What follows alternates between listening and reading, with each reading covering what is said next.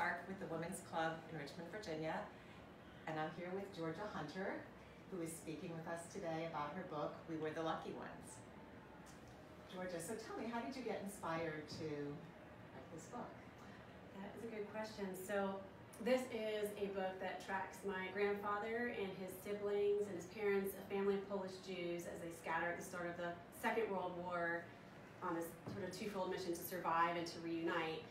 Um, it's a piece of my family history that I had no idea existed until I was 15. So thanks to a high school English assignment, um, I just interviewed my grandmother, discovered this piece of my grandfather's story.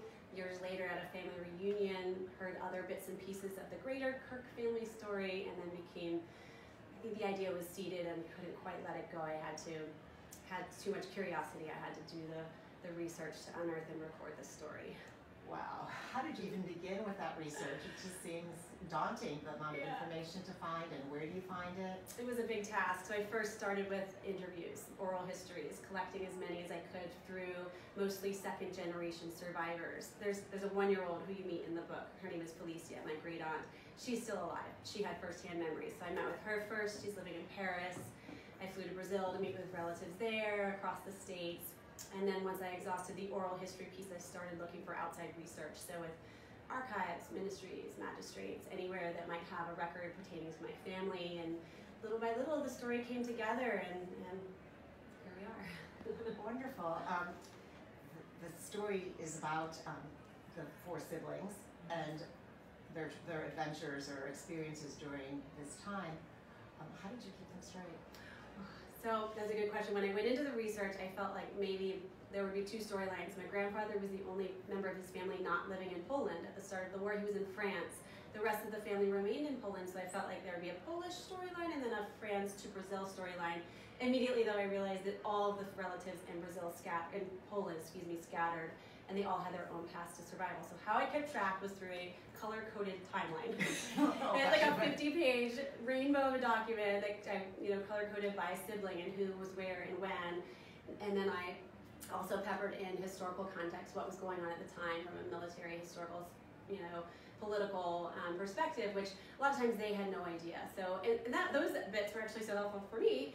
Um, you'll, you'll find them in the book, kind of in between chapters. Um, so yeah, it all started with a timeline, and then then I had to figure out what do I do with that, and I decided to um, I, I, wanted it to read like a novel, like uh, something that my, my kids and their kids and their kids could read and sort of step into the shoes of their family members and, and think about what it would have felt like to be there.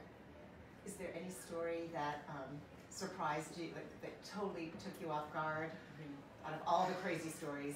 I feel like to me, um, halfway through the research and writing of the book, my first son was born, and so all of a sudden, uh, my grandfather's older sister Mila's storyline became very relevant. She had a daughter, Felicia, at the start of the war, and so imagining what it was like to be a mother alone with no idea where her husband was with this one-year-old child and what that took to keep her alive, to make those decisions, often split-second decisions, and, and how to keep her daughter safe, and when do you decide to put her in the care of somebody else.